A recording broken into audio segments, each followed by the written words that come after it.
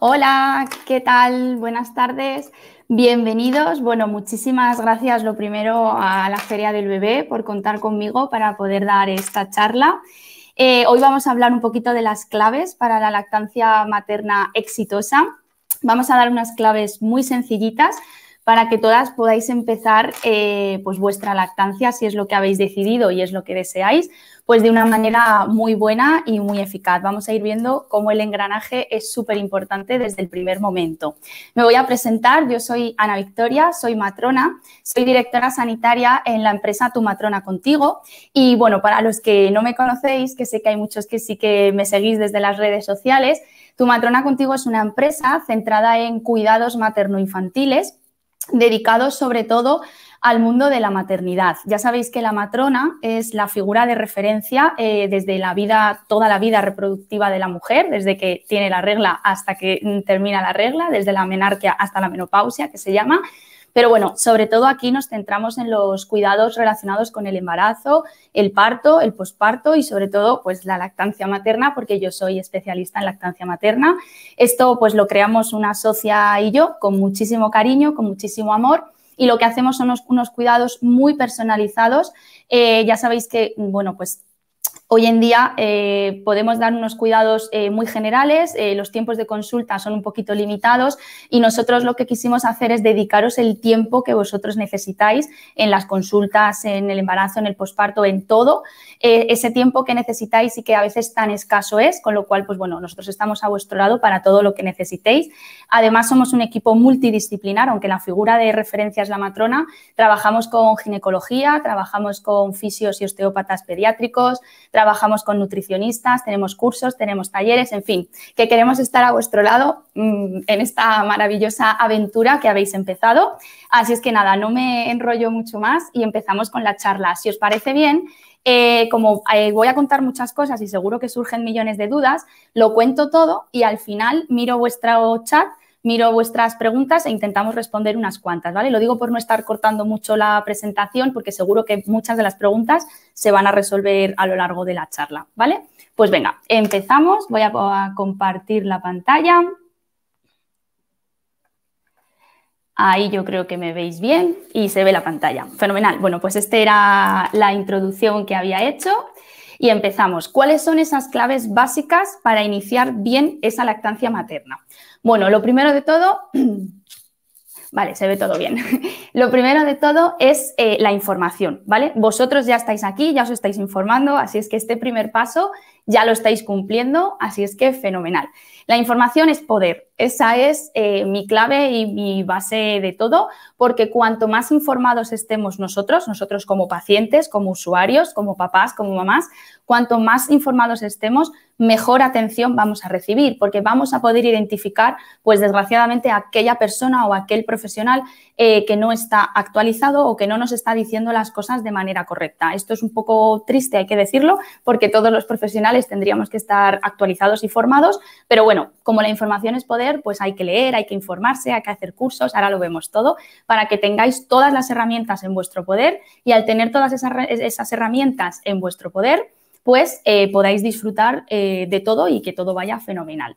la segunda clave básica es el inicio precoz, el inicio precoz de esa lactancia materna. Vamos a ver cómo los estudios han demostrado poco a poco, cómo la evidencia científica ha demostrado que ese inicio precoz eh, si es pronto, si es adecuado, si es correcto, ese contacto continuo, que es el punto número tres, del piel con piel con el bebé, favorece una lactancia materna prolongada. Además, y aquí viene uno de los mitos eh, más arraigados en nuestra sociedad, es que la lactancia debe ser a demanda, sin horarios. Por eso yo siempre os digo, en el momento en el que nazca vuestro bebé, Fuera relojes, relojes de las paredes, relojes de pulsera, fuera relojes. Vamos a seguir el instinto de nuestro bebé, nuestro instinto, y nos vamos a olvidar del tiempo. Además, es importante no interferir. Vamos a ver cómo los chupetes o las tetinas de los biberones o muchísimas otras cosas pueden interferir en ese buen engranaje de la lactancia materna. Por supuesto, si hay que dar un suplemento o hay que dar algo porque pasa algo con el bebé, es muy grande, es muy pequeño, se ha quedado con la, glucemia bajita, cualquier todo ese tipo de cosas, por supuesto que se le puede eh, suplementar, ¿vale? Pero se puede suplementar con otras formas que no sea un biberón para no interferir, ¿vale? Aunque eso ya es otro punto aparte, que nos vamos a centrar en las claves básicas porque de lactancia pues podríamos hacer 80 tomos y seguiríamos hablando, ¿vale? Y luego ese enganche y esa postura correctas tan importantes que vamos a ver. En muchísimas ocasiones las mamás empezáis con grietas, las grietas no son normales, ya os lo digo, ¿vale? Las grietas no es algo que, bueno, sí, ya las callo, ya, no, no, no, no. Las grietas y la lactancia no tiene por qué doler, con lo cual si hay grietas, si hay dolor y ahí pasa algo, está eh, pasando realmente algo y necesitáis una supervisión directa para ver qué está pasando. A veces simplemente con corregir un poquito el enganche y corregir un poco la postura es más que suficiente, ¿vale? Y por último, por supuesto, es el último, pero es el más importante de todos, tener un apoyo y un acompañamiento. Vamos a ver cómo ese apoyo y ese acompañamiento tiene que ser tanto el entorno familiar y de amigos como del entorno profesional. Y ahora lo vamos a ir eh, desglosando un poco todo de punto en punto, ¿vale? Bien, el primero de todos, la información. La información desde cuándo? Bueno, pues seguro que muchos de los que estáis aquí, bueno, perdonadme si alguna vez digo muchas, porque como podéis entender, la mayoría de las veces hablo con mujeres y me refiero mucho a las mujeres, así que disculpad de verdad si se me va el femenino, pero bueno, muchos de vosotros que estáis aquí o acabáis de tener un bebé o tenéis un problema con eh, la lactancia y ya eh, tenéis un bebé o estáis embarazados, que será la gran mayoría de vosotros. Así es que es súper importante informarse desde el embarazo. ¿Por qué desde el embarazo? Pues primero porque es una etapa un poco como de luna de miel, ¿no? Pues que si todo está bien, pues estamos tranquilos, estamos relajados, ya no tenemos al bebé en casa con esos problemas o yo directamente con esos problemas de lactancia, con lo cual he tenido tiempo para informarme, he tenido tiempo para formarme y eso es muy importante. Luego, además, ¿qué pasa? Pues que los bebés, la lactancia es instintiva. Los bebés no necesitan leer, no necesitan prepararse. Ellos lo traen de fábrica, porque al fin y al cabo no olvidemos que nosotros somos mamíferos, ¿vale? Vuestro bebé, pues es un bebé humano, pero mm, es igual que un leoncito que acaba de nacer, o es igual que un monito, o es igual que cualquier otro mamífero. Es decir, que viene al mundo y lo único por lo que se mueve es por sus instintos, es decir, sus instintos de supervivencia, sus instintos de succión, y al pobre bebé tú le dejas ahí y no hace nada si nosotros no le cuidamos, si nosotros no le protegemos. Con lo cual, para el bebé la lactancia es instintiva, así es que ese punto lo tenemos ganado.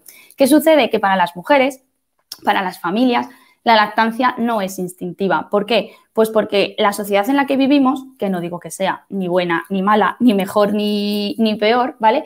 Eh, la sociedad en la que vivimos, pues bueno, es una sociedad que ha perdido un poco ese concepto de tribu, ha perdido un poco ese concepto de la red madre a madre, eh, pues ya, ya, no vivimos como se vivía antes, ¿no? Que se vivía toda la familia en una misma casa. Entonces tú podías ver eh, a tu tía, a tu abuela, a tu, o sea, una red de mujeres, de madres eh, pues que se ayudaban, que se apoyaban, eh, podías pasar horas a lo mejor con un familiar tuyo o con una familiar, pues sabías lo que era dar de mamar a un bebé. Nosotros eso, pues en la sociedad en la que ahora vivimos es completamente diferente. Ya cada uno pues vive con su pareja o solo o como sea, pero vive en su casa. No tenemos esa relación, ¿no? Tan de, pues eso, de tribu, de madre a madre. Entonces nosotros eso como mujeres lo hemos perdido. Entonces ahora debemos aprender, debemos observar eh, pues cómo se hacen estas cosas y eso se aprende observando, mirando, leyendo y formándonos. Además, tenemos que desterrar un montón de mitos. Bueno, llevamos arrastrando mitos, otra cosa también que nos daría para crear pues 80 tomos diferentes, ¿vale? Entonces, bueno, ya sabéis que hay millones de mitos, que si aguada, que si te viene la regla y ya no tienes la, eh, lactancia, ya se te va, que si tiene hambre porque come mucho, que si está encima, que si está debajo, que si patatín, que, o sea, bueno, todo el mundo va a opinar de vuestra maternidad y de vuestra lactancia. Así que otro consejo que os doy, taparos los oídos, vosotros informaros, leed mucho y lo que digan los demás, pues bueno, que lo digan, ¿vale? Luego, para leer, pues mirad, ahí os he puesto algunos ejemplos. ¿Ah? ah, dicen que no se cambian las diapositivas. Estoy en, sí, pero sigo en la de información. Se tiene que ver la de información, perdonadme. ¿eh? Esta es otra. No se cambian. A ver, perdonadme, ¿eh? un segundín, que me están chivando. A ver.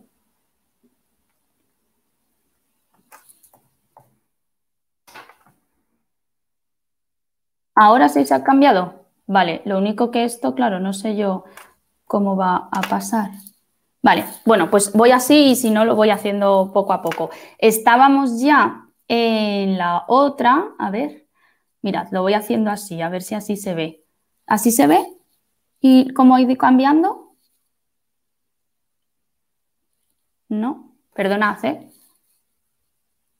Vale, lo voy a poner como reproducir. Vale. Vale, pues esto es lo que donde estábamos, ¿vale? Todos los libros de, lectura. Entonces, lo que yo os recomiendo, bueno, pues ahí hay, muchos, ¿vale? Está el de Dormir sin lágrimas de Rosa Jove, que mañana va a dar una, una charla que para mí es fantástica. Ese libro ayuda muchísimo en el sueño infantil.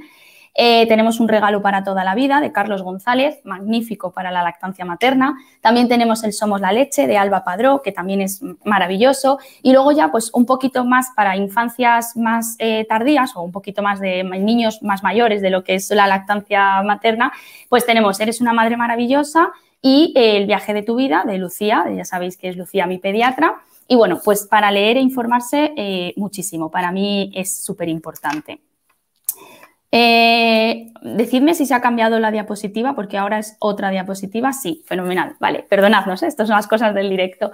Vale, pues eh, lo que os decía, dentro de esa información yo os voy a explicar brevemente, porque no os quiero aburrir, lo que sucede tras el alumbramiento. Y aquí la mujer sí es instintiva, es decir, aquí sí que lo hace nuestro propio organismo si todo va bien y no necesitamos pensar mucho más. Pero como no lo hemos visto y no estamos seguras de que en nuestro cuerpo suceden estas cosas, pues sí que os lo voy a explicar para que estéis convencidas y estéis tranquilas de que esto nos sucede a todas las mujeres como mamíferos que somos, ¿vale? ¿Cuál es el mecanismo eh, de producción de la leche? Bueno, pues eh, tras el alumbramiento, el alumbramiento es la salida de la placenta. Sabéis que primero sale el bebé, después sale la placenta. Entonces, cuando ha salido la placenta, eh, suceden varias cosas. La primera de ellas es que disminuyen los estrógenos y la progesterona, que son dos hormonas que durante el embarazo las tenemos a tope. Esto va sucediendo a lo largo de los días, ¿eh? no es pum, inmediato. ¿Y qué va sucediendo a lo largo de esos días? Pues que a la vez que disminuye el estrógeno y la progesterona, aumenta la prolactina y la oxitocina. La prolactina y la oxitocina son las principales hormonas, ya no solo del amor, que es la oxitocina, la de las contracciones y todo eso, sino también de la lactancia, pero cada una actúan eh, indistintamente, pero juntas, en ese engranaje que hablábamos, ¿vale? La prolactina es la que produce la leche, acordaos, prolactina, producción de leche, y oxitocina es la que se encarga de la salida, de la eyección de la leche. Pero las dos van juntas, ¿vale? De tal manera que si hay succión del bebé, hay producción de oxitocina, de, de prolactina, perdón. Si hay producción de prolactina, baja la leche y la leche con la succión sale al bebé. Entonces, este engranaje es súper importante tenerlo en cuenta. Sucede en, vamos a decir, 99% de las mujeres, vamos a poner siempre que haya por ahí un 1% que ha pasado algo, que tienen unas mamas tuberosas, cualquier otra cosa que puede pasar, un hipotiroidismo, cosas que habría que ver más de cerca con profesionales, ¿vale? El por qué no se ha producido este nivel eh, hormonal correcto y adecuado. Eh, pero por regla general, succión es igual a producción. Acordaos también de esto, que yo siempre, quien hace las clases conmigo de preparación, eh, se lo aprende y se lo graba a fuego, ¿vale? Succión es igual a producción. Si hay succión, hay liberación de oxitocina. Si hay liberación de oxitocina y hay succión, hay producción de prolactina, con lo cual hay producción de leche. Y esto es un engranaje. Imaginaos eh, pues, dos engranajes que van pum, pum, pum, pum, pum. Y siempre que hay succión, hay producción. Succión, hay producción. Por eso es tan importante en estos primeros días, dejar que nuestro bebé succione todo lo que quiera, succione a demanda, porque así conseguiremos conseguir esa producción. Lo vamos a ir viendo eh, en cada punto correspondiente. Antes de seguir con los puntos, sí que os he querido meter una pequeña aclaración porque sé que va a salir la pregunta porque sale en todos los cursos. Eh, la típica pregunta de, pero es que si no tengo leche, hasta que me suba la leche, ¿qué pasa? ¿Por qué no tengo? Porque, vale, siempre desde el momento en el que esto se produce, que hemos visto que disminuyen unas hormonas y suben otras, tenemos lo que se llama calostro. De hecho, muchas de vosotras, si ya estáis embarazadas de más de 24 o 25 semanas, podéis haber notado que algunos días os levantáis, digo os levantáis porque suele ser más frecuente por la noche, os levantáis con, eh, como con un líquido anaranjado eh, en los pezones, que es lo que llamamos el pre calostro. No os preocupéis si no lo habéis notado ¿eh? y estáis de 38. Tampoco pasa nada. Se puede notar o se puede no notar. No está relacionado con mejor ni peor lactancia ni nada de nada. ¿eh? Simplemente aquí hay posibilidades como, como mujeres en el mundo. Pero sí que os quiero contar, para que os quedéis tranquilas, sobre todo, sobre todo por si viene esta persona famosa de no tienes leche, ta, ta, ta, ta, ta, bueno, pues que sepáis que sí hay leche, ¿vale? Lo que tenemos es calostro. Después del calostro viene la leche de transición y después de la leche de transición viene la leche madura. Todas son perfectas, todas son ideales y todas están adaptadas a vosotras y a vuestro bebé.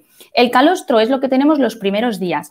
Fijaos que es muy poquita cantidad y muy denso. ¿Pero por qué? Pues porque el estómago de vuestro bebé es una cosita así así de chiquitita, ¿vale? O sea, es que es como una cerecita. Entonces, a esto, pues no le puedes meter un vive mm, famoso de los que salen por ahí para cebarle y cebarle y cebarle, porque es que el pobre mío se empacha, no le cabe más, ¿vale? Y esto ya empieza a ser el estómago de un bebé de 7 días, 7, 10 días, es decir, fijaos qué diferencia, pero es que es justo el tiempo necesario para pasar del calostro, que es poquito y denso y, muy escasito, a la leche madura que ya empieza a salir eh, en mayores cantidades, ¿vale? Ese calostro es anaranjado porque tiene muchísimos betacarotenos, tiene muchísimas inmunoglobulinas, muchísimas proteínas y sobre todo, sobre todo tiene vitamina A, vitamina E y vitamina K. No quiere decir que las otras no tengan todo esto, ¿eh? ni que las otras no tengan inmunoglobulinas. Todas tienen todo, pero acordaos que unas, pues eh, la composición va cambiando. Y lo más importante del calostro, o una de las cosas más importantes del calostro, es que es laxante. Laxante, ¿por qué? Porque necesitamos que nuestro bebé elimine esa primera caca, esa primera caca negra, pastosa, llamada meconio, ¿vale?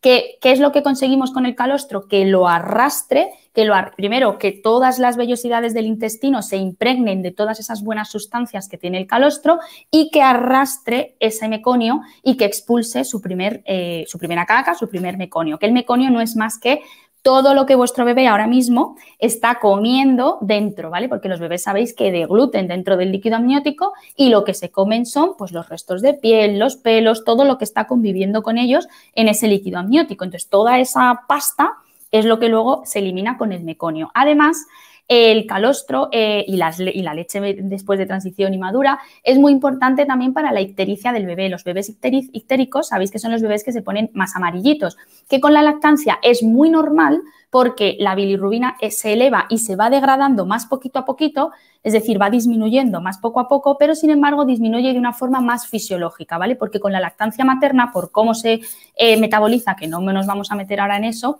eh, se metaboliza de tal manera que se elimina muchísimo mejor a través precisamente de las heces, primero del meconio y después de las heces ya normales, amarillentas y todos los tipos de cacas que os podéis encontrar.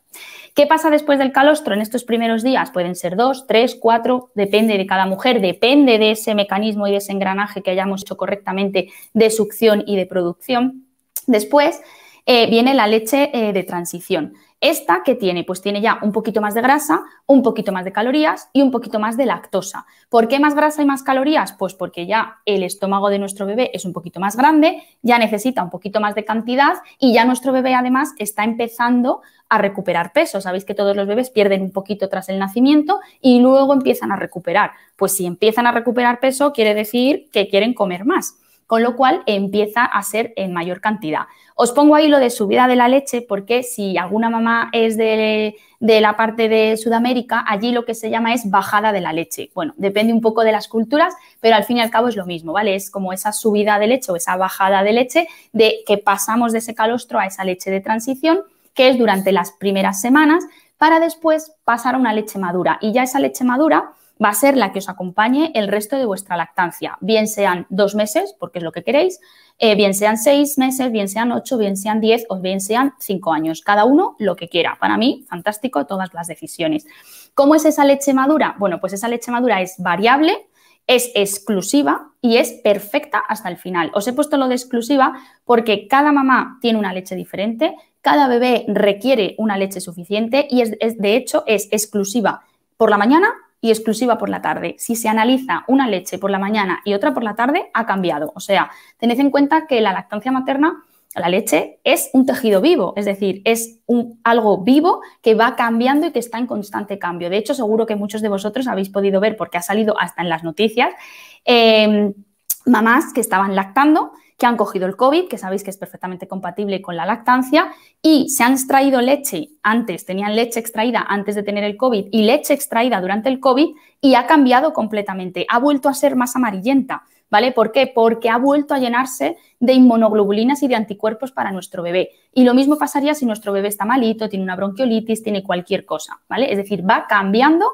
en función de lo que nuestro bebé necesita y nosotras le vamos aportando. También cambia con algunas comidas. No me voy a meter en esto porque entonces ya sí que no acabamos con los colores de la leche, pero todos los colores de la leche son normales, desde el azul, eh, así como anacarado, hasta el verdoso, depende un poco de lo que nosotras comamos, si es una, eh, pues algo que tiene más... Eh, lo diré, más verdura de hoja verde, cosas así, pues va cambiando. Y lo que sí que os pongo es que es perfecta hasta el final, hasta el final de los días de la lactancia. Que nadie os cuente el rollo, como digo yo, de eh, no, es que ahora ya es más aguada, no, es que ahora no sé qué. No, es perfecta hasta que vosotras decidáis con vuestro bebé y vosotras, ¿vale? O sea que no os preocupéis por eso, que mm, os garantizo desde ya que vuestra leche es, si es lo que queréis darle, el mejor alimento que vuestro bebé va a poder recibir de vosotras, ¿vale? Y no hay leche mala, no hay leche cortada, ni estas cosas y mitos que nos van arrastrando ancestralmente. Vale. El punto número dos, pues es ese inicio precoz que hemos dicho que era tan importante, ¿vale? Ese enganche en las primeras horas eh, tras el nacimiento. Eh, además, se ha visto que este inicio precoz de la lactancia materna y ese enganche espontáneo, que ahora os voy a enseñar un vídeo de lo que es un enganche espontáneo, que diréis, bueno, pero ¿qué es un enganche espontáneo? Ahora lo veis. Eh, no sé si en el cole alguna vez os contaron eh, la impronta de los patitos, yo siempre lo cuento así. Sabéis que los patitos, cuando nacen, lo primero que ven, que suele ser a la mamá pata, es lo que siguen el resto de, sus días, ¿no? Hasta que un poco se emancipan, como digo yo. Entonces, en la lactancia materna pasa lo mismo. Es decir, si conseguimos que en las primeras horas, pueden ser una hora, dos horas, normalmente en las primeras cuatro horas casi todos los bebés se enganchan, si de verdad se ha fomentado ese piel con piel y de verdad se ha estado eh, con la mamá, eh, y hayan estado juntitos, ya, os digo que el 99% de los bebés comienzan la lactancia en ese momento, pues a ellos se les fija esa impronta de saber buscar el pecho, de saber olfatearlo, porque es con lo que ellos más desarrollado nacen, con el tacto y con el olfato, saber buscarlo, saber cogerse, saber encontrarlo y saber engancharse. Y eso es como una impronta, como os decía, de los patitos, que se les crea y que hace que la lactancia, esto hay estudios y evidencia científica, hace que esos primeros enganches tan perfectos hechos por el propio bebé y siguiendo sus instintos, sea una lactancia mucho más prolongada. ¿Por qué prolongada? No tiene ningún otro truco. El truco es que desde un principio hemos dejado al bebé en contacto piel con piel, se ha enganchado el solito, ha seguido sus instintos, lo ha hecho bien y como la mamá no tiene grietas, no tiene obstrucciones, no tiene mastitis, le sube la leche perfectamente y todo va bien, cuando todo es fácil, por supuesto, pues todo va mejor. Cuando yo me compro un coche y va como la seda, pues estoy mucho más contenta y a lo mejor aguanto con el coche mucho más tiempo que si desde el primer día me da problemas. Pues con la lactancia materna pasa exactamente lo mismo, ¿vale? Con lo cual hay que potenciar ese enganche y ese piel con piel y ese agarre espontáneo. Y os pongo ahí parto y cesárea porque sería, mm, vamos, es que sería, porque es el derecho de toda familia, eh, que fuera tanto en los partos como en las cesáreas. Ya sabéis que existe el término cesárea humanizada porque desgraciadamente sigue existiendo muchos sitios en los que en la cesárea pues no dejan a entrar acompañante, eh, no os dejan estar con vuestro bebé piel con piel, lo cogen ahí al estilo Rey León, se lo llevan y hasta luego, hasta que tú vuelvas a la habitación, tres, cuatro, en el mejor de los casos, cinco horas, ¿vale? Entonces, eh, Sé que esto es imposible desde aquí, aunque yo hago un llamamiento si alguien importante me está leyendo o me está viendo, por favor, que empiecen a cambiar los protocolos en muchos sitios. Pero como sé que es imposible que yo como matrona y todas mis compañeras como matronas podamos conseguirlo al 100%, si es vuestro caso y el hospital en el que estáis os han separado, es muy importante que durante esas horas que estáis separadas estimuléis el pecho, que lo empecéis a masajear, que empecéis a hacer un poco de extracción eh, manual, como simulando que vuestro bebé se está enganchando para comenzar bien ese engranaje que hemos hablado, de esa succión y de esa producción. Y en cuanto que os pongan con vuestro bebé, inmediatamente empecemos con todo este proceso de contacto piel con piel y dejarle solito que vaya buscando, ¿vale? Esto os lo cuento un poco porque como no sé dónde vais a ir, a, qué hospital ni qué protocolos van a seguir, sería importante que os informarais antes también por, por saberlo, ¿vale? Más cositas. Va todo bien, fenomenal. Mirad, este es el vídeo que os comentaba. Esto es, esto es un enganche espontáneo. Este vídeo es verdad que está grabado hace muchos años, la mami está un poco tiesa así, pero bueno, sería un poquito más elevada. Pero veis, al bebé simplemente le han dejado en contacto piel con piel, Se ve perfectamente que acaba de nacer porque tiene hasta el pelito mojado, ¿vale? Del líquido amniótico y él está ahí con su mamá, tan a gusto, despierto. Está, ¿veis? Está buscando, está olfateando, está cabeceando, está haciendo lo que hace todo recién nacido y ahí le tenéis, enganchado. Perfecto y maravilloso, tan a gusto con su mami. ¿Vale? Pues esto lo pueden hacer todos los bebés si permitimos ese contacto piel con piel y permitimos esto que podéis estar viendo aquí en el vídeo y que se aprecia perfectamente, como él, que sí que es instintivo, puede hacerlo y puede conseguirlo. Ese contacto continuo que tanto estamos hablando, ya veis que al final una cosa se va solapando con la otra, ese contacto debe ser eh, continuo ya no solo en esas primeras horas. Lo ideal es que fuera continuo todo el ingreso y, si me permitís, toda la primera semana cuando volvéis a casa. Eh, como opinión personal barra profesional de, todos estos meses hablando con vosotras, pues la pandemia nos ha dejado pues, muchísimos mm, lagos ¿no? de no poder ver a la familia, etcétera, etcétera, pero sí que muchos de vosotros coincidís en que el no tener tanta visita o el no tener tanta información contradictoria de familia, de amigos, de tal y de cual, ha dejado un poco más fluir eh, vuestros instintos. Y yo sí que me he dado cuenta, he tenido bastantes menos eh, consultas eh, de problemas porque habéis seguido mucho más vuestros instintos y no habéis tenido sus comentarios tan negativos. Y porque habéis llegado a vuestra casa y si os ha apetecido estar 28 horas, como digo yo, de 24 al día con vuestro bebé pegadito a vosotros, pues lo habéis estado y nadie os ha dicho se acostumbra a los brazos, no le cojas tanto, ya verás cuando sea mayor, etcétera, etcétera. Porque al final, pues todos me vais a reconocer que no hay persona de 15 años que quiera seguir estando en brazos de sus padres. Con lo cual, aprovechad este momento porque luego la vida pues pasa muy rápido y ya no volvéis a tener a ese bebé ahí con vosotros y entre vuestros brazos. Con lo cual, ese contacto continuo ya no es solo en las primeras horas para conseguir ese enganche, sino constantemente durante todo el ingreso y durante las primeras semanas, porque todo este enganche continuo lo que va a conseguir es que vuestro bebé esté más alerta, como el del vídeo, que está despierto, que está bien, ¿vale? No está en una cunita, arropado, dormidito y ahí le dejo al pobre, ¿vale? Aumenta, por tanto, su interés por ese pecho, porque lo va a olfatear, va a estar más cerca de vosotras. Además, a vosotros os va a ayudar, a vuestra pareja, si tenéis pareja, y a vosotras. Os va a ayudar a identificar esas señales precoces de hambre. Vais a saber cuándo vuestro bebé ya está intranquilo, ya quiere comer, porque un bebé que llora por hambre es muy difícil engancharle al pecho. Hay que calmarle primero, hay que relajarle, porque ya tiene un nivel de estrés, tiene tanto cortisol de estar llorando que no es capaz de ver, de, de ver el pecho, de engancharse. No puede, es imposible, materialmente imposible, ¿vale? Y todo esto pues hace que ese engranaje vaya perfecto y que se establezca la lactancia de manera correcta. De verdad que son pequeñas cositas, pequeñas claves, como digo yo, pero que son fundamentales para, conseguir esa lactancia. Y los mayores problemas que yo me he encontrado luego en las consultas o en los domicilios, cuando vamos a los domicilios, que ya sabéis que nosotros pues, o vamos a domicilio o lo hacemos eh, online, eh, casi todos son problemas de esto, de todo esto se cortó, pues es que se lo llevaron, pues es que habían ido, pues es que me separaron de él cinco horas, Mm, o tuvo que ir a la incubadora, ¿vale? A lo mejor se puede poner malito el bebé y puede ir a la incubadora, pero bueno, todo, todo ese tiempo se puede recuperar, no os preocupéis. El cuarto punto, perdonadme que voy a beber un pelín de agua. El cuarto punto es que es a demanda, ¿vale? Acordaos, en el momento en el que nazca vuestro bebé y os digan la hora en la que ha nacido, que eso todos, eh, la, hora y el día y el peso es como lo primero que pregunta eh, toda la familia, una vez que haya nacido el bebé, fuera relojes, fuera relojes de la pared, fuera relojes de la pulsera, olvidaos del tiempo, haced caso a vuestro bebé, porque además hasta los 3-4 meses vuestro bebé, que seguro que os lo cuenta mañana eh, Rosa Jové, eh, tiene eh, solamente dos fases de sueño, ¿vale? Tiene un, un, ciclo ultradiano y no distingue el día de la noche, no entiende de rutinas, no entiende. Entonces, A él le va a dar igual que sean las 3 de la mañana que las 3 de la tarde. Él va a pedir, si necesita comer, lo va a pedir igual. Con lo cual, olvidaos del tiempo, ¿vale?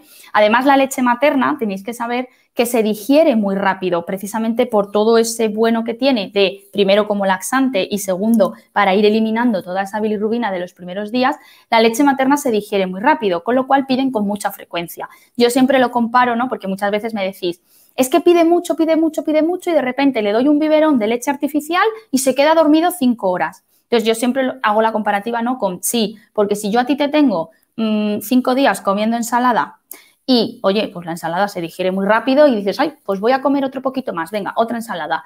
Pero claro, de repente te cojo y te digo, venga, te voy a dar un cocido. Pues ¿cómo nos quedamos todos después del cocido? Bueno, yo digo cocido madrileño porque yo soy de Madrid y, estoy, vivo aquí en Madrid. Sé que ahora, claro, estoy acostumbrada a hablar en la feria de Madrid, que casi todos sois de Madrid, pero bueno, ahora sois de toda España. Eh, pues claro, yo me como un cocido madrileño y acto seguido me duermo la siesta. Me duermo la siesta porque caigo rendida de lo llena que estoy, ¿vale? Pero que pida muy frecuentemente y que pida muy a demanda no significa que tenga hambre constantemente, porque el pecho es mucho más que hambre, es relajación, es seguridad, es apego. Vuelvo otra vez a lo que decíamos al principio. Nadie se imagina a un leoncito recién nacido solo eh, por ahí abandonado en una cuna de, la selva, sino que se lo imagina con mamá, con, papá, con, con, quien sea, pero pegadito, ¿no? Siempre con calor, con protección, con apego.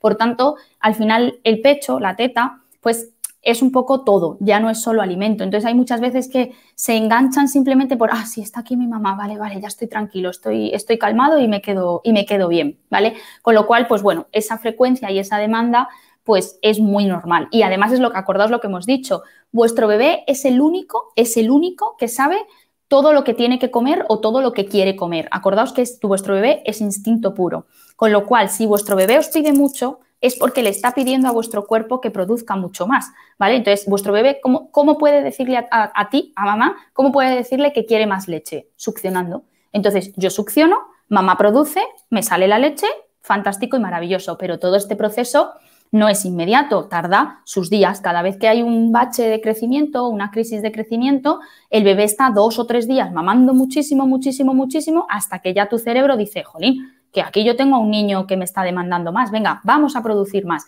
y aumento la producción. Pero para eso necesitamos dejar que nuestro bebé succione, ¿vale? Y que no deben existir, perdón, en tiempos, ni en frecuencia, ni en duración, ni en nada, porque a demanda es a demanda, ni 15 minutos en cada teta, ni cada tres horas, ni nada de nada. Pero aquí sí que meto un pero, ¿vale? Que es por lo que siempre se confunde, yo creo, y por lo que se ponen los horarios. Y es que los primeros días sí que tenemos que ser un poquito proactivos. Es decir, lo normal es que nuestro bebé, un bebé sano, feliz, bien, que no está ni muy pequeño, ni muy grande, ni le pasa nada, lo normal es que él solo pida y pida con muchísima frecuencia, ¿vale? De hecho, mm, os preocupáis por la frecuencia con la que pide, pero puede ser que tengamos un bebé pues muy tranquilo, muy relajado, que, oye, pues yo voy comiendo allí cuando me apetezca, ¿vale? Pero los primeros días, hablo de primeros días, por lo menos primeras dos semanitas hasta que recupere ese peso al nacimiento, sí que sería interesante que tengamos esa actitud proactiva. Proactiva quiere decir que sí que estemos pendientes de que hace tomas frecuentes, de que mínimo, mínimo hace 8 o 12 tomas al día. Por eso, de ahí viene lo de cada tres horas, porque claro, al final separamos tiempos, 8 por 3, 24, pues cada tres horas tal. No, ¿vale? Mm, olvidaos de eso. Yo os cuento el truqui de entre 8 y 12 tomas para que seáis proactivos y que sepáis que si tenéis un niño súper dormilón y que solo ha comido dos veces al día, su demanda no es la normal. Lo normal es que sean de 8 a 12 aproximadamente, ¿vale? Una vez que recuperan el peso al nacimiento, ya no os tenéis que preocupar tanto de esas 8 o 12 tomas porque ya sabríamos que todo eh, está bien y que el engranaje está perfecto.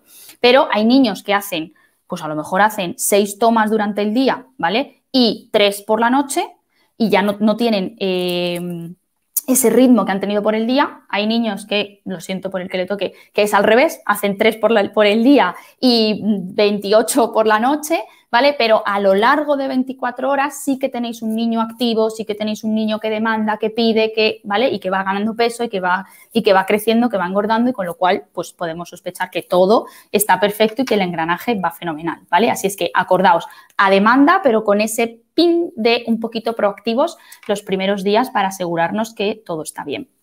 Luego, no interferir. No interferir, ¿qué me refiero con no interferir? No interferir es no interferir en esa lactancia, en ese ciclo natural, en esa succión. Primero, porque eh, los chupetes, ¿vale? Eh, y los biberones eh, se cogen de manera diferente. Cuando nosotros tenemos un pecho, nuestro bebé tiene que posicionar la lengua por aquí, ¿vale? Ahora lo vamos a ver cuando veamos cómo se coge un pecho. Nuestro bebé tiene que posicionar la lengua por aquí, cogiendo siempre más parte de abajo que de arriba, nunca del pezón, ¿vale? Y tiene que hacer este movimiento, ¿vale? Este movimiento. Eso en un chupete o en un biberón estaréis de acuerdo conmigo que es imposible de hacer porque yo no puedo poner más de aquí, no puedo hacer con la lengua, ¿vale? Entonces esto hace más así, ta, ta, ta, ta, ta, ta. ¿Qué sucede además? Que esto es más fácil que esto. Aquí me lo tengo que currar mucho más que aquí. Os hablo esto porque tengo un chupete, ¿eh? pero sería lo mismo con un biberón que cae la comida. Entonces, claro, ¿qué pasa? Pues que me acostumbro a coger esto y cuando quiero coger el pecho no lo sé enganchar correctamente, no sé hacer ese movimiento con la lengua y producen las grietas, el que la transferencia de leche sea peor, porque no es lo mismo enganchar y extraer profundamente que hacer esto, y entonces empezamos con todos los problemas, ¿vale? Por tanto, tema chupete, yo no me meto en lo que cada familia quiere, me da igual, quiero decir, eh, esto es una elección libre, como el ir en carrito, ir en porteo, mm, bañarlo todos los días o bañarlo cada cuatro.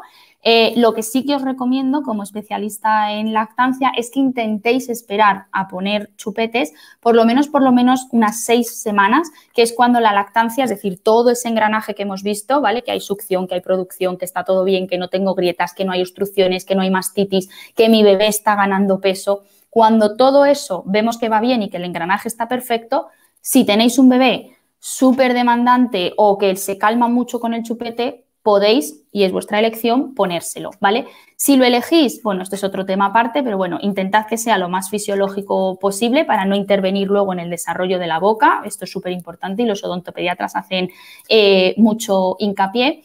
Y luego además es muy importante eh, no ponerlo en los primeros días, ya no por ese síndrome de confusión teta-tetina que os explico ahí, que es confundir lo que hemos hablado de cómo se engancha, sino porque si yo tengo un bebé que hemos dicho que tiene que succionar para que mi cuerpo se dé cuenta cuánta succión necesita para yo producir, si le meto chupetes, vamos a suponer que nos toca un niño que no se confunde, que lo hace fenomenal y que cuando yo le pongo la teta, coge teta y cuando yo le pongo chupete, coge chupete. Fenomenal.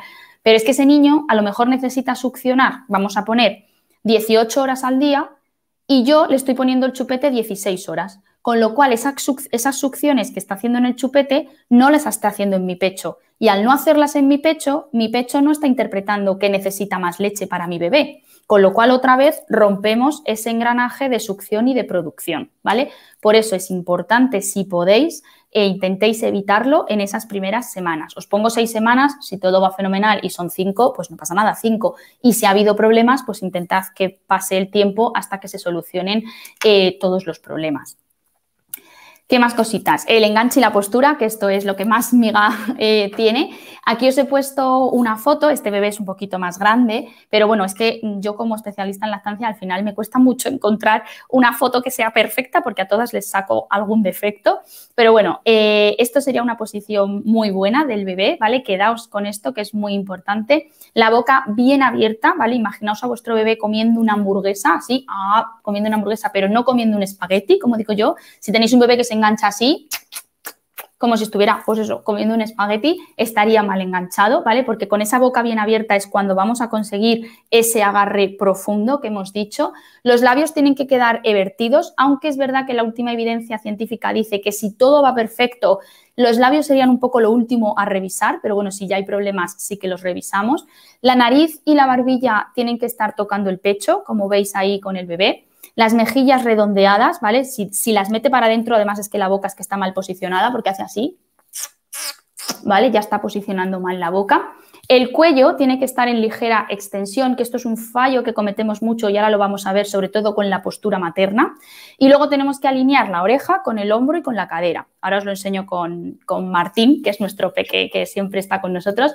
El pezón tiene que quedar dirigido hacia la coronilla del bebé y luego lo que os he dicho, ¿vale? Enganchar bien de la areola más de abajo que de arriba y no enganchar solo el pezón, ¿vale? Voy a coger a Martín, espero que se vea bien, ¿vale? Bueno, Martín, que nos le, he presentado, Martín es nuestro bebé rebor. Nosotros practicamos cuando vamos a los domicilios, eh, hacemos una simulación real, porque, bueno, pues es un bebé rebor que pesa tres kilos y pico. Eh, se mueve igual que un bebé, como podéis ver, se le cae la cabecita igual que a un bebé. Y entonces, pues bueno, la clase de lactancia y de cuidados del bebé, pues nos ayuda muchísimo porque al pobre mío le bañamos, le cambiamos el cordón, que tiene cordón umbilical, eh, se lo curamos, le cambiamos el pañal de verdad con un bebé que se le caen las piernas de verdad. Bueno, nos ayuda muchísimo. Así que he dicho, venga, pues hoy también, ayúdanos Martín a cosas de la lactancia entonces, bueno, lo que os decía del cuellito, ¿vale? Eh, nosotros cuando damos el pecho tenemos que tener al bebé siempre bien posicionado así, ¿vale? Es decir, nosotros no podemos tener la cabecita del bebé aquí y el cuerpo así, torcido, ¿vale? Porque esto es como si nosotros comiéramos así, ¿vale? Es imposible. Entonces, siempre tenemos que cuidar esa alineación, ¿vale? Siempre tenemos que cuidar la alineación de la orejita con el hombro, no sé si creo que se está viendo bien, la orejita con el hombro y con la cadera, Cuando nosotros posicionamos a nuestro bebé, como hemos dicho. Lo ideal sería que pusiéramos nuestro pecho en la naricita del bebé. Cuando nosotros hacemos esto, como habéis visto en el vídeo, que ellos olfatean y huelen, eh, entonces esto hace que ellos echen la cabeza para atrás, abra bien la boca y entonces nosotros nos acercamos el bebé al pecho y conseguimos ese enganche profundo, ese buen enganche que necesitamos con el pezón dirigido hacia el paladar y por tanto dirigido hacia la coronilla, ¿vale? Ahora vais a ver qué importante es también la postura de la madre para conseguir eh, todo esto, porque si nosotras también nos colocamos mal, perdemos todo esto bueno que ha conseguido nuestro bebé. Yo lo pongo así para que vosotras lo veáis, pero estaría pegadito hacia vosotras, ¿vale? Hacia así, hacia vosotras, guardando esta orejita y este, es que pesa, ¿eh? Aquí mi amigo Martín. Vale, entonces, ¿qué es más importante también? La postura. Bueno, aquí os he puesto, perdonadme, para que veáis simplemente porque lo tengáis fotográficamente, que creo que es muy importante, eh, la postura correcta y además en la otra foto que se ve perfectamente esa postura eh, correcta e incorrecta.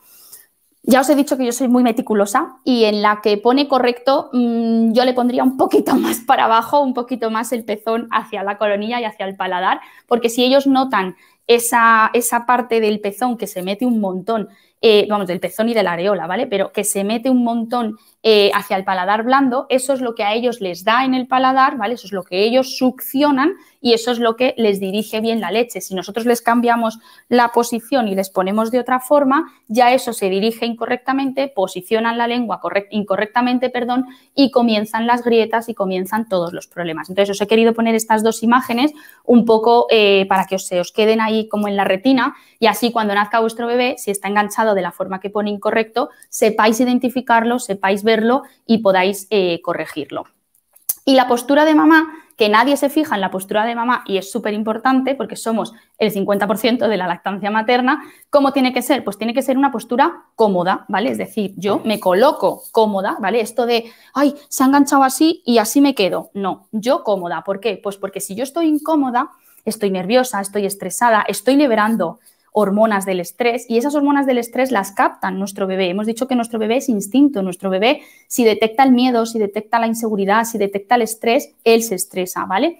Entonces, nosotras cómodas, relajadas, bien puesta, bien, si queréis cojín de lactancia, almohadas, lo que cada uno tenga o lo que cada uno quiera, o cojines, ¿vale? Con nuestro bebé bien colocadito. Yo ahora no estoy cómoda, pero porque quiero que me veáis. Con nuestro bebé aquí bien colocadito y fijaos que ya empiezo a colocar de otra forma a la que nos han enseñado. No le coloco aquí, ¿vale? Le estoy colocando aquí, bien en la palma, de la, o sea, bien en la muñeca o bien en el antebrazo. Y cuando pongamos esto, acordaos, el pezoncito hacia la nariz y él eche la cabeza para atrás y abra, ¿vale? Y abra bien la boca, entonces yo lo que hago es que me le acerco al pecho, nunca hago así y me voy hacia mi bebé, no, una vez que hemos conseguido esto, yo me cojo a mi bebé y me le acerco hacia aquí, ¿vale? Y algo muy importante que os decía es no, perdón, que me lío con los cascos, es no colocar a nuestro bebé aquí, ¿vale? Todo el mundo se ha creído, pues, que o, tenemos esa, esa, costumbre, ¿no? De colocar al bebé aquí y cogerle para darle el pecho, para cogerle así de porque voy a pasear y tal, pues fenomenal, ¿vale? Pero Decidme si aquí se me ve bien, voy a hacer un poco de sentadillas. Eh, si yo cojo al bebé en esta postura, ¿vale? ¿Qué es lo que sucede? Pues que cuando él hace todo su trabajo, él abre, le pongo mi pezón en la nariz, él extiende su boquita, ¿vale? Él extiende su cuello, abre su boca y yo me le acerco, si le tengo aquí en el cuello, en el codo, perdón, ¿qué hago? Me le acerco, ¿veis? Le cambio toda la perspectiva del cuello, con lo cual ya estoy perdiendo lo que hemos hablado tan importante de la hiperextensión y de abrir bien la boca, porque cuando yo veo que ha abierto la boca, cojo y me, y me le traigo, me le traigo y fijaos al pobre mío, le pongo en una postura pues antinatural. Si yo le tengo bien apoyadito aquí, ¿vale? Aquí entre mi muñeca y mi antebrazo, cuando él hace su gesto, pum, pum, pum, y me le acerco, ¿veis? Y no pierde esa hiperextensión, no perdemos esa buena postura que tenemos conseguida con nuestro bebé, ¿vale? Con lo cual, pues es muy importante también la postura de la mamá. ¿Qué posturas podemos tener? Millones, ¿vale? A ver, ¿qué cambio? Ahí. Tenemos millones de posturas, ¿vale? Yo os he puesto aquí un poco las más convencionales, pues la de cuna, la tradicional, que es la que estaba Ah, vale, que me decían que habían. Vale, ya está, fenomenal. Eh, tenemos, pues eso, em, eh, la tradicional de cuna, tenemos tumbado, tenemos. Elijáis la postura que elijáis, hasta la más rara del mundo, que es así en caballito, ¿vale? Incluso la más rara del mundo, tenemos que mantener esa alineación, tenemos que mantener esa naricita para que él abra bien la boca e hiperextienda el cuello, ¿vale? Os he dejado aquí un poco a modo de, de ejemplo. Vale, y luego ya para ir terminando, que me he acelerado con el peso del pobre Martín, porque no tengo aquí casi espacio para moverme, eh, tenemos el apoyo y el acompañamiento. ¿vale? El apoyo y el acompañamiento ya hemos visto que son importantísimos eh, ya no solo a nivel personal, eh, sino a nivel profesional. personal me refiero pareja, amigos, familia, bueno, todo el mundo que tengáis. Acordaos siempre de la pareja, entiendo que si tenéis pareja, pues se va a formar como os formáis vosotras, pero eh, los amigos, la familia, esos mensajes contradictorios, ¿vale? Acordaos que nos vienen, pues intentad un poco decir, vale, vale, esta este familiar, este amigo no, no me está diciendo lo correcto, venga, voy a escucharle, jiji, jaja, y hasta luego, ¿vale? Pero, eh, bueno, ahí está ese apoyo y ese acompañamiento que si es correcto, pues es maravilloso. Y luego tenemos los grupos de apoyo y las redes de madres, que ahora lo vamos a ver. Y, bueno, pues la figura de la matrona, que aquí pues barro un poco hacia mi terreno como matrona que soy, como pues especialista en lactancia materna, pero, por supuesto, si encontráis cualquier profesional sanitario eh, que sepa de lactancia materna y que esté actualizado, pues adelante con sus conocimientos. Más vale un, pediatra, por ejemplo, eh, actualizado en lactancia que una matrona no actualizada, ¿vale? Pero bueno, sí que es verdad que os he puesto matrona, pues porque barro un poquito para mi terreno de las matronas, que somos ahí como la figura más importante y a la vez más olvidada, sobre todo aquí en España, porque en, en otros países sí que tienen un peso muy importante. ¿Qué son los grupos de apoyo? Seguro que muchos de vosotros los conocéis, pero bueno, fundamentalmente os he dejado ahí eh, un enlace de la IAN, ¿vale? Que sabéis que es la, iniciativa hacia la humanización, eh, que muchos hospitales son hospitales IAN. Estos hospitales suelen respetar todo lo que hemos estado hablando, ¿vale? Suelen respetar esas cesáreas humanizadas, bueno, suelen, suelen favorecer ese engranaje perfecto. Y los grupos de apoyo, que ahora desgraciadamente es verdad que con el COVID están un poquito pues, más olvidados, porque claro, son, como veis ahí en la foto, reuniones, ¿vale? Madres voluntarias, ¿vale? No son profesionales, son madres voluntarias que dan el pecho o que han dado el pecho, que se reúnen cada X tiempo, pues bueno, se pueden reunir en el hospital, en el centro de salud, en los ayuntamientos, cada uno se reúne, depende de las comunidades autónomas y de los lugares y de los municipios y de, bueno, cada sitio es diferente y se van reuniendo, pues unas son los martes, otras son los jueves, otras son los sábados, depende, ¿vale? Pero van allí las madres voluntariamente y es un poco para compartir experiencias, para que veáis que no estáis solas, que a todo el mundo pues le pasa algo, que todo el mundo tiene sus momentos y sus buenos momentos, sus malos momentos, altibajos, etcétera, etcétera, durante la lactancia, pero aquí no vais a encontrar una ayuda profesional como tal. Aquí vais a encontrar ese apoyo, como es ese grupo de apoyo, ¿vale? Ese compartir experiencias, ese, por ejemplo, imaginaos que ya tenéis un bebé con seis semanas, que es una de las crisis que hay de, de, un bache, una crisis de lactancia, y estáis en ese grupo, jolín, pues es que mi bebé tiene seis semanas y no para de pedir, entonces a lo mejor otra madre te dice, ay, pues al mío le pasa lo mismo, pero bueno, en dos, en dos días todo se solucionó, pum, pum. Entonces, entre vosotras hacéis esa tribu, esa comunidad que decíamos al principio que se ha perdido, ¿vale? Es un poco porque veáis pues que no estáis solas. Por supuesto, pueden ir eh, las parejas, por supuesto, están bienvenidos eh, todos los que quieran o todas las personas que están alrededor de la mamá para quedarse con toda la copla de todo y luego poder ayudar a la mamá si le surge alguna duda.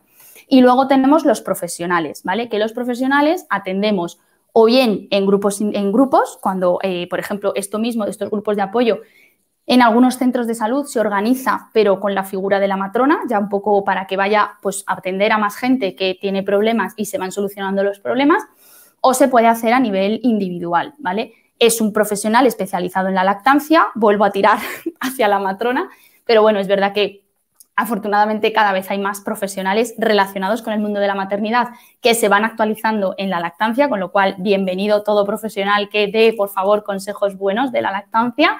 Esto sí que es una ayuda profesional, o sea, aquí sí que podéis recurrir eh, incluso podéis recurrir también si necesitáis apoyo. ¿eh? O sea, yo he hecho muchas consultas en las que parecía que todo estaba bien, pero la mamá necesitaba hablar, pues como estamos haciendo nosotros ahora, mantener una charla, necesitaba afianzar sus conocimientos y, bueno, pues quería contar con un profesional, pues también se puede, pero bueno, que sepáis que existen las dos opciones. Y lo mismo, podéis encontrarlos en los centros de salud Podéis encontrarlo en las consultas privadas, como nos podéis encontrar a nosotros, a tu matrona contigo, que va tanto a domicilio como online. Domicilio en la Comunidad de Madrid, ya os he dicho que yo es donde vivo y es donde está nuestra empresa.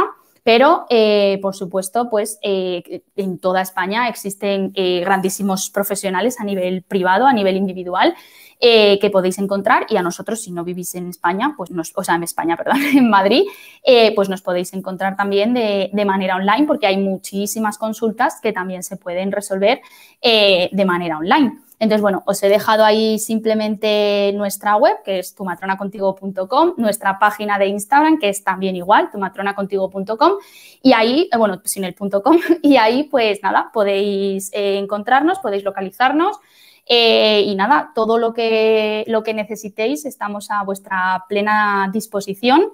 Como resumen, simplemente porque os quedéis con ese perfecto engranaje que hemos hablado, que la información es poder, este es mi lema, además de la succión es igual a producción, que leáis mucho, que os informéis, que os forméis y que tengáis localizado grupos de apoyo, bien en lo público y en esos grupos de apoyo que ya os he dicho que, bueno, ahora cojean un poco por el tema del COVID, pero que estoy segura que volverán a resurgir y que tengáis localizado esa ayuda, ¿vale? Tanto de no profesional como profesional durante el embarazo para formaros bien y tener toda esta información que os estamos dando y después para que si surgen los problemas podáis contactar y decir, oye, mira, tengo problemas con el enganche, por favor, ven, ayúdame y tal, porque cuanto antes todo se empieza con ese engranaje, pues muchísimo mejor. Y si el engranaje han fallado ya durante siete semanas, pues bueno, se puede conseguir, pero ya vamos un poquito ahí rinqueando, rinqueando, rinqueando, ¿vale?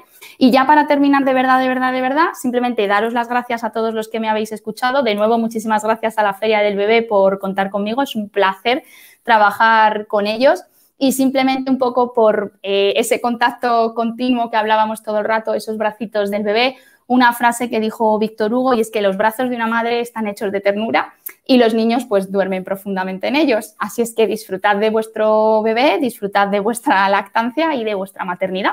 Así es que nada, quitamos si queréis esto, nos quedamos con dudas, preguntas. Ahora voy a abrir el chat, ¿vale? Que lo tengo aquí todo a la vez y vamos viendo a ver eh, dudas o cosas que os hayan quedado, ¿vale? Dedicamos un ratito y después ya me han dicho desde, desde la Feria del Bebé, desde la organización, eh, que vamos a ir respondiendo, ¿vale? Os voy a ir respondiendo las preguntas que queden, tanto de los vídeos que han colgado, que yo también tengo vídeos que hice pues, sobre otras cosas de lactancia materna y sobre toda esta charla que hemos dado. Eh, os voy a ir contestando, ¿vale? Me vais a disculpar si no os puedo contestar ahora inmediatamente porque entro en una hora de guardia en el hospital, en paritorio, eh, pero yo os prometo que mañana, en cuanto que descanse un pelín por la mañana, que son guardias de 12 horas, os prometo que toda la tarde la dedico a responder todas las preguntas que hayan quedado pendientes, ¿vale? Me voy a ir a la parte de los comentarios.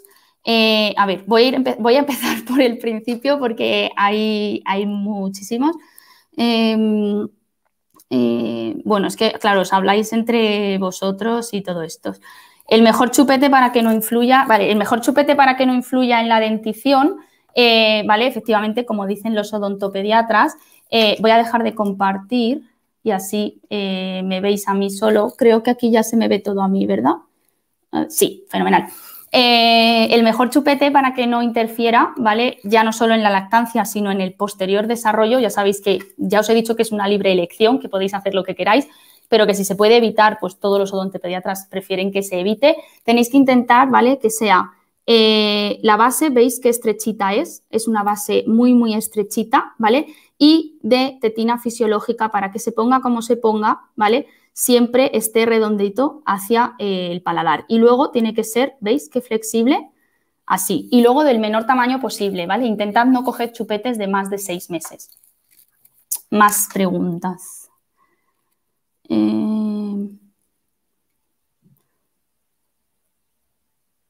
vale, aquí son cosas de que decíais que se me pusiera más en grande, pero ya lo han puesto. No me he enterado mm, de cómo poner al bebé. Vale, bueno, pues esto sí que lo aclaro porque es importante, ¿vale? A ver, el bebé tiene que guardar la alineación de su oreja con su eh, hombro, con su cadera, ¿vale? Tenemos que posicionarlo aquí, en nuestro antebrazo o en nuestra, en nuestra muñeca, ¿vale? Para cuando él abra bien la boca, acercar a nuestro bebé y mantenerle en esta posición correcta. No ponerle aquí, porque si le ponemos aquí, cuando le acercamos, ¿veis? Le rompemos todo el esquema que tiene que hacer él de esa hiperextensión hacia atrás. Ay, perdón, que me engancho. Em, a ver. Eh, bueno, es que os habláis mucho entre vosotros también. No sé si eh, Gemma y Verónica han ido recopilando a lo mejor alguna pregunta así. Em, vale, dice, la mía tiene cinco semanas y aún me mata cada vez que llega la hora de mamar. Es insoportable y me arden los pezones. Pues eso hay que mirarlo y hay que revisarlo, ¿vale? Porque algo está pasando, desde luego. Eh, cinco semanas, vamos, no es normal eh, que duela nunca, ya lo hemos dicho, ¿vale? Ni las grietas ni el dolor. Sí que es verdad, voy a puntualizar ya para ser más perfecta, que los primeros 15, 20 días al enganche se puede notar un, uy, un pequeño, pero por el tema hormonal, ¿vale? Pero no, o sea, en cuanto que empieza a mamar, se pasa, se pasa y podéis, estar hablando como estoy yo hablando, pero no tiene que ser insoportable ni doler, ¿vale? Si llevas así cinco semanas, sí que tienen que valorarte, eh, vamos, tienen que valorarte correctamente, ¿vale? Eh, a ver qué me dicen por el privado. Ah, claro, que ahora ya tengo las preguntas aquí. Qué tonta. Es que no he...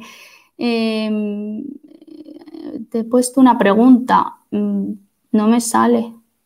Bueno, voy a mirar a ver por aquí más preguntas. Claro que es que ahora ya las puedo ver aquí, aunque no os creáis que se ven bien. Sí, sí, ya lo veo en la pantalla. Gracias. Ah, vale, que me sale en la pantalla. Perdón, perdón, perdón, perdón. Perdonadme, que es que voy a, voy a mil y no la veía. Vale. Eh, para el destete, ¿cuál sería el método? Bueno, el tema del destete es súper, súper, súper eh, personalizado y súper individualizado. Aquí sí que vemos la importancia de personalizar, porque no es lo mismo un destete con un bebé de un mes, porque queréis destetar por el motivo que sea, no es, motivo no es lo mismo un destete con un bebé de ocho meses, que a lo mejor está justo en una crisis de angustia por separación, no es lo mismo un bebé de un año que vuelve a tener una crisis y a pedir y a demandar mucho, no es lo mismo un bebé de dos, de dos años o un bebé de seis meses. Entonces, el método del destete va a depender mucho de la edad del bebé y sobre todo de lo que vosotras queráis. Si queréis un destete rápido, por lo que sea, por el motivo que sea, si queréis un destete progresivo, si queréis un destete pues porque os vais a trabajar y en vez de seguir con lactancia y extrayendo, eh, queréis hacer un destete pues más despacio, es decir, esto eh, sí que hay que verlo pues muy personal porque depende de muchísimos factores. No puedes hacer un destete a lo mejor igual de rápido en un bebé de un mes que en un bebé de un año eh, porque hay que ver también eh, pues cada bebé y cada, y cada momento. Ah, genial. Eh, si usamos la crema para el pezón, ¿hay que lavar el pecho antes de darlo? Vale, las cremas para los pezones, otra cosa igual, no se recomienda, ¿vale? Veis, es que al final esto da para ocho volúmenes de lactancia.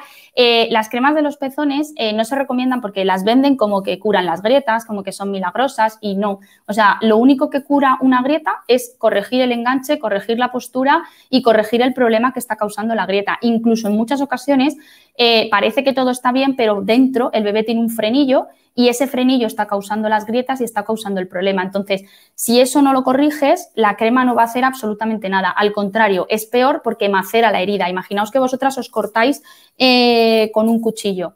¿Qué hacéis? ¿Os ponéis crema en el cuchillo para que eso eh, cicatrice o lo laváis con agua y con jabón y lo dejáis limpio, seco y al aire? O a lo mejor el primer día con una tirita.